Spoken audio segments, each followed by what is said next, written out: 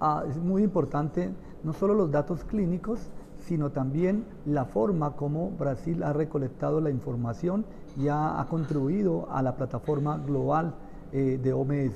Porque justamente con esta información es que permite eh, poder eh, enfrentarnos a nuevos episodios, no solo de COVID-19, sino además de otras pandemias como modelo de recolección de información. Ah, tuvimos el apoyo de OMS y OPS y junto con el, con el gobierno y la, el interés de diferentes investigadores de clínicas y hospitales públicos y privados, formamos una red para poder contribuir de una forma global. Creo que eh, el éxito de lo que hemos podido avanzar hasta ahora es empezar a cambiar esa visión de tener los datos locales de un solo hospital a realmente tener una red que pueda contribuir de forma global a datos mucho más robustos para tener conclusiones no solo para un hospital ni para Colombia, sino para el mundo.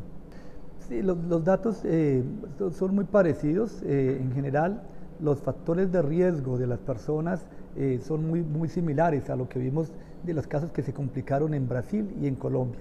Igualmente, vimos las diferencias entre las mortalidades en sala general y en los servicios de cuidado intensivo, que son muy parecidas a lo que vimos en, en Colombia. Claro, hay que ver que hay unas diferencias entre regiones eh, de la misma Colombia o de la misma Brasil, que es lo, que uno espera, teniendo en cuenta que hay diferencias en la misma atención y adicionalmente eh, en el momento de la epidemia. No es lo mismo la mortalidad que vimos en el primer semestre del 2020 a la que vimos en el segundo del 2021, por ejemplo, o a este año.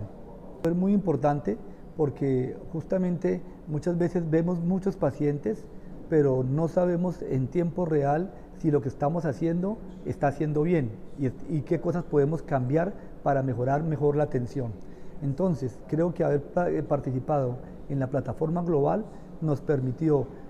analizar nuestros propios datos, poder hacer intervenciones en tiempo real y probablemente fortalecer aquellas intervenciones exitosas y dejar de hacer algunas que no estaban funcionando adecuadamente.